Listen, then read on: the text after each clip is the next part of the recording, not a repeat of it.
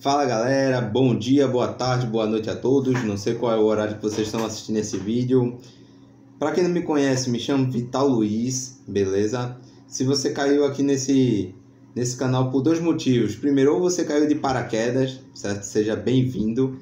É, o canal, é, a essência do canal é pescaria, beleza? Ou se você, assim como eu, é apaixonado por pescaria, você está no lugar certo, beleza?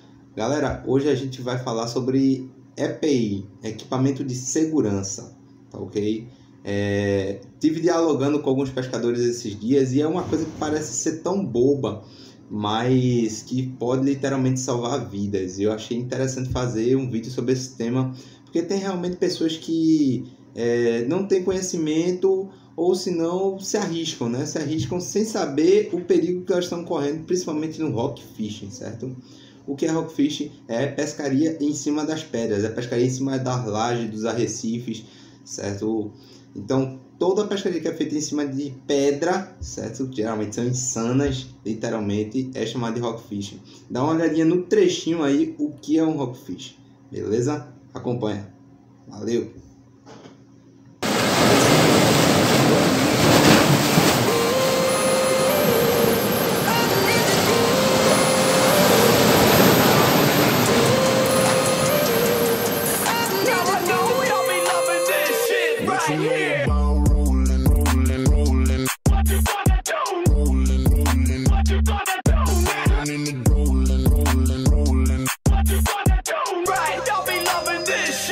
You know about.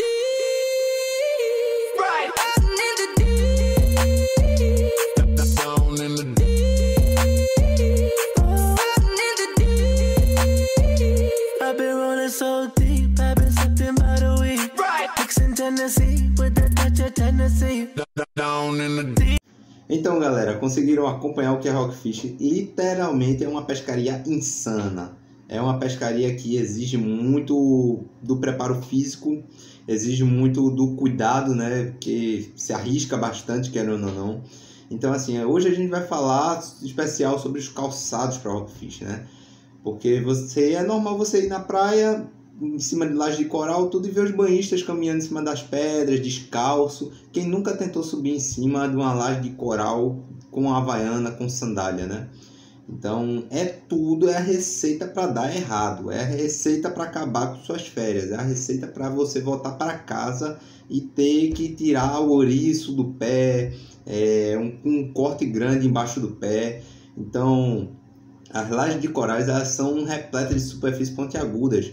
Então, pra gente que está em cima dos corais, em cima dos arrecifes, principalmente com a maré lavando, onda batendo, você escorrega, sobe de novo, é, faz parte do rock fishing. Mas não te leva ao ponto de você ir descalço para cima dos arrecifes. É, é impossível. Amigão, eu só digo um negócio. Esqueça a pescaria de rockfish. Se você esqueceu o calçado em casa, esqueça. Sua pescaria terminou ali, entendeu? Então, assim, é, a gente vai falar um pouquinho sobre os calçados. A gente fala bastante no grupo, cada um dá a sua opinião de calçado. Eu vou falar o que, melhor, o que eu melhor me adaptei, né? Os meus calçados que eu utilizei e o feedback que eu posso dar em relação a cada um, beleza? O que eu usei, o que eu fiz, o que eu achei de cada um, beleza? Então vamos lá. É, nós temos três calçados hoje. Bem, como são muito conhecidas as sapatilhas, né? Quem nunca ouviu falar nas sapatilhas de neoprene? Porque são confortáveis, porque são leves e tudo isso elas são. Isso aqui é uma delícia para você pescar, literalmente.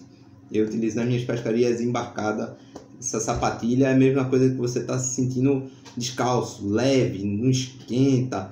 É perfeito, é perfeito. Para quem gosta de caminhar na praia também, é, geralmente essa turma vai para piscina, tudo. Geralmente procura caminhar no calçadão, procura sapatilha de neoprene, certo? Para pedalar também a galera gosta. Então isso é perfeito, é perfeito. Sapatilha de neoprene eu não tenho o que dizer dela. Mas, sempre tem um mais. Mas para pescaria de rock fishing, vamos lá. Ela não dura tanto feito as botas, ok?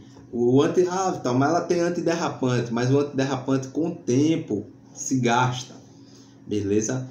E se você não conhece a estrutura do local onde você pesca, se você pesca num local de laje lisa, beleza, tranquilo, você ainda consegue pescar. Mas se você pesca num local onde tem muito ouriço, amigão, eu sinto lhe dizer, não foi uma boa aquisição que você fez.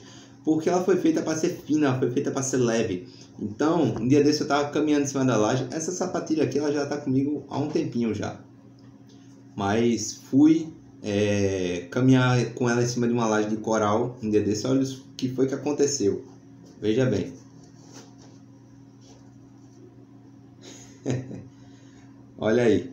O furo que deu. Por sorte, dá para vocês terem a noção, né? O furo que deu. Aqui o antiderrapante já está todo gasto, mas olha o furo que ficou. Por sorte não atingiu meu pé, né? Por sorte.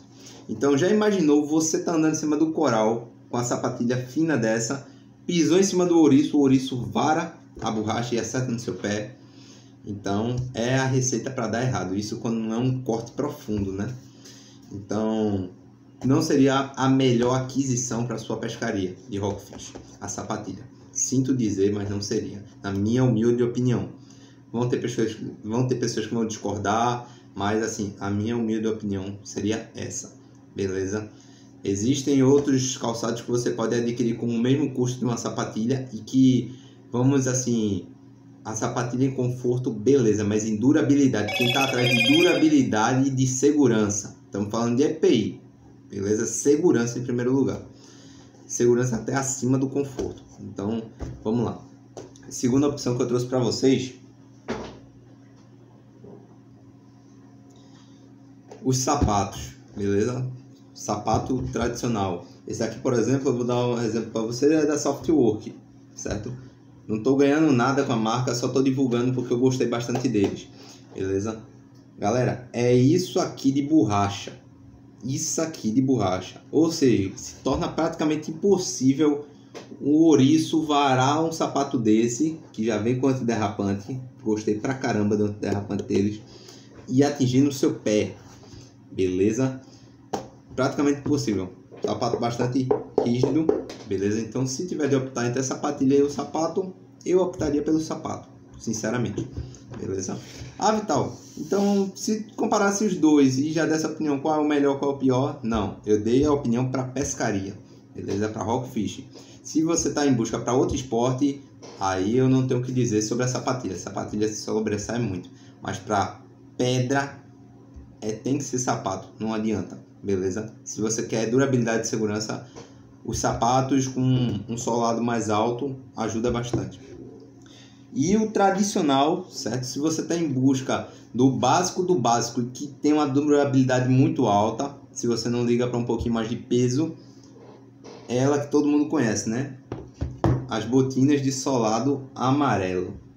Essa daqui, por exemplo, já está comigo, já vai para quatro anos e pouquinho já.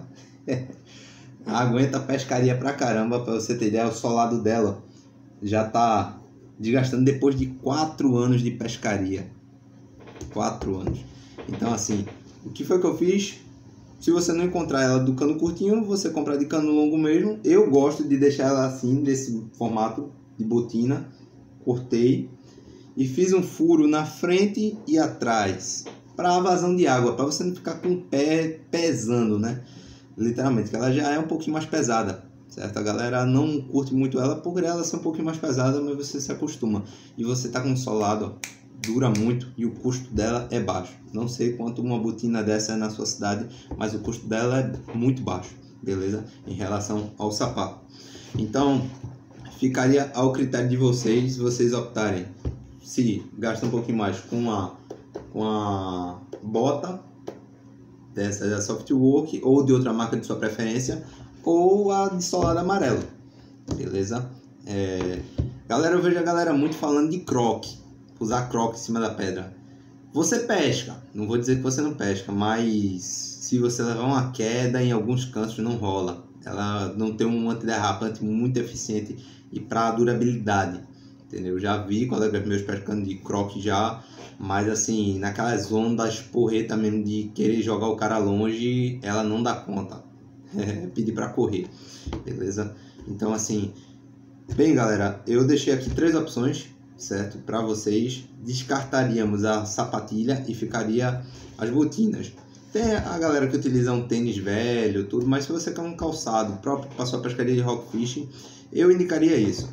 O sapato, você tem que levar em consideração de ter bastante borracha, né? Uma borracha mais grossa, para não haver vazão, para não varar os espetos.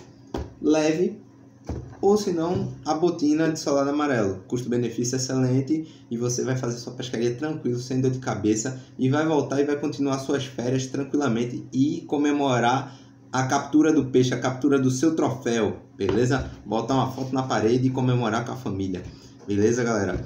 Então, o vídeo de hoje foi rápido, certo? Foi mais uma dica informativa mesmo, uma dica simples, mas que pode fazer diferença. E tamo junto. Galera, quem gostar, curte, comenta e compartilha. E deixa a tua opinião aqui embaixo para a gente sempre estar tá dialogando. O que é que você gostaria que eu, gost... que eu trouxesse para a gente estar tá comentando aqui no canal do YouTube. Beleza? Fique todos na paz de Deus. Bom dia, boa tarde, boa noite. Valeu!